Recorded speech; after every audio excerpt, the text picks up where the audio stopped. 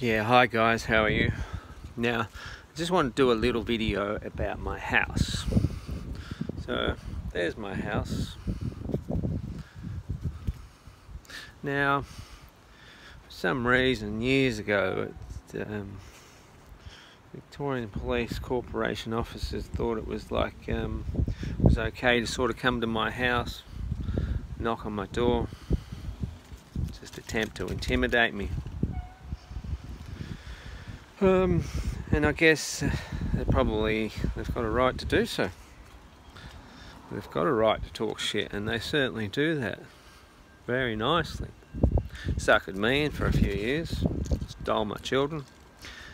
Um, and then, so I believe under the law, and I think it's like you, if you go and read the Trespass Act, Act, um, there's an assumption that all land is basically public land. Um, so now, what I did, I got one of these.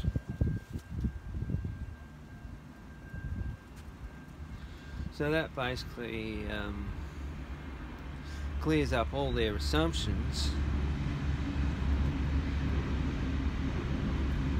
Clears up all their assumptions that there there is no public land here to be had.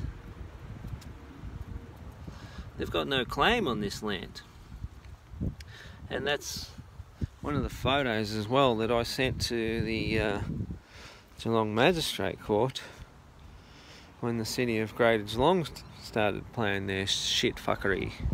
Uh, just to let them know that um, there's, there's no right to be uh, walking on my land because I own my land in uh, well, I think it's called freehold, but even that, who knows? Who knows? Especially nowadays, we have like polymer and pixels, then there's no real money. But anyway, so yeah, so if you got issues, I'd, I'd suggest getting one of them, and then if they want to breach that, just take take them to Supreme Court.